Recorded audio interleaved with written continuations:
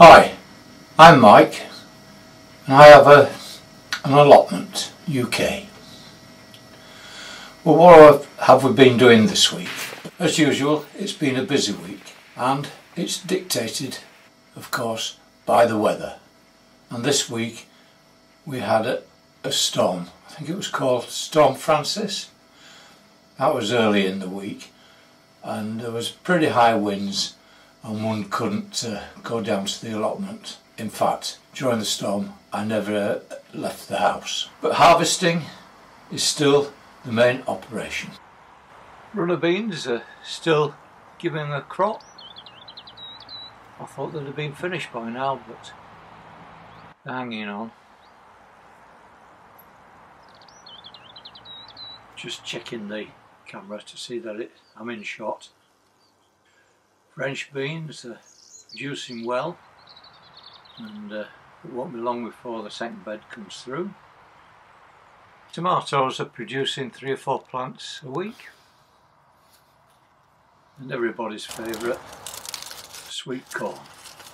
Succession planting of the beetroot is proving to be a success. We've still got plenty of beetroot to go. Checking the onions in the polytunnel, they're drying out quite well Still not ready yet. And my wife did ask me to bring a couple of onions home. Small ones, she says. I like the small ones. And they're looking better for being cleaned up. And this is today's haul. Not bad. It's been busy in the fact that other events have occurred this week.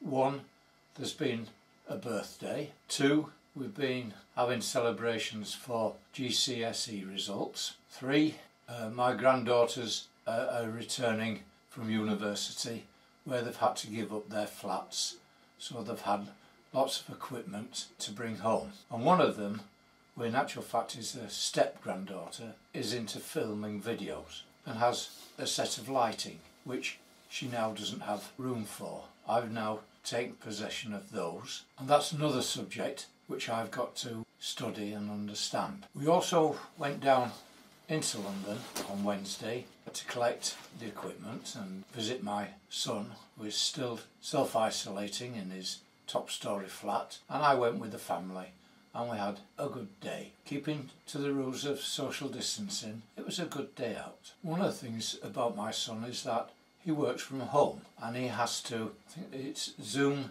conferences, he has quite a lot of those and he has a company computer as well as his own and he's finding it difficult to uh, organise the office.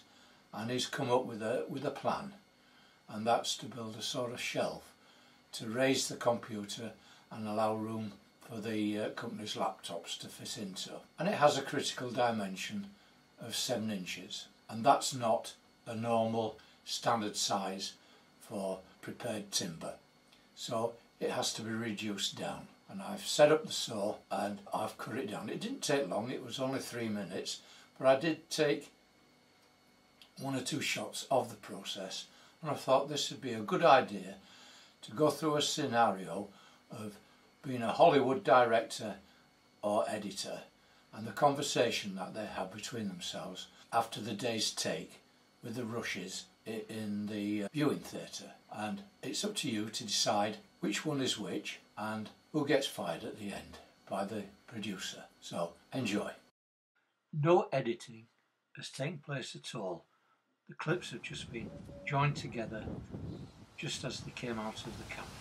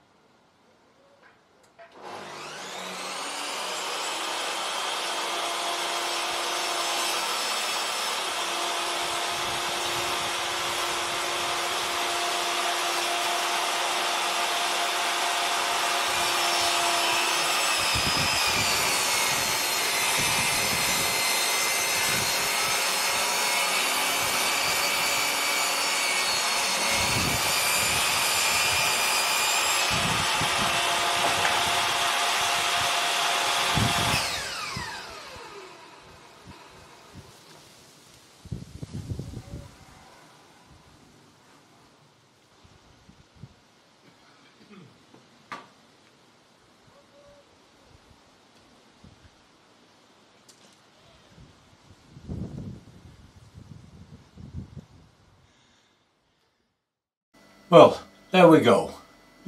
The producer took on some new staff, went back, reshot it, included some B-roll, and this is the result. Did he make the right decision?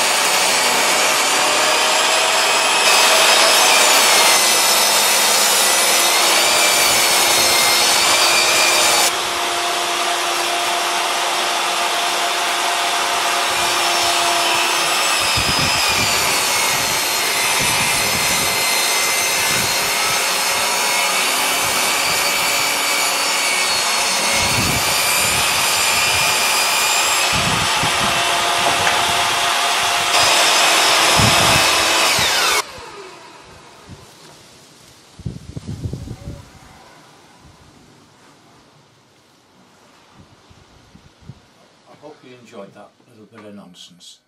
And who do you think got the sack? Was it uh, the director or was it the editor? Or did the producer decide to get rid of both? I don't know. But I'll be interested in your comments. If you enjoyed the video and liked it, then a thumbs up would be nice.